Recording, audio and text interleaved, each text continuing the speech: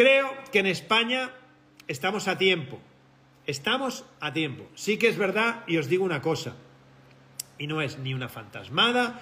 Yo he visto patrullas vecinales francesas que se están organizando, porque obviamente, como te digo, se están metiendo en manada a violar a sus mujeres. Aquí esto, a mí, me costará la vida, os lo digo. Y si esto llega aquí a España, Dios no lo quiera, pienso ser uno de los cabecillas, uno de los organizadores del ejército de la calle, de los vecinos, llamarle como queráis. Porque lo voy a hacer. Y te digo una cosa, no voy a salir con un palo. No voy a salir con un palo. Y si tengo que morir, moriré en la calle defendiendo a mi país y a mi familia.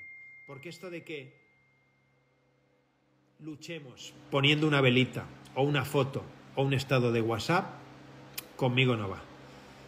Así que espero que no llegue a España. Espero que las urnas echen a estos tíos de por vida y que le demos armas a nuestro ejército, a nuestra policía y que se cierren las fronteras de una puta vez, que es lo que tiene que pasar aquí.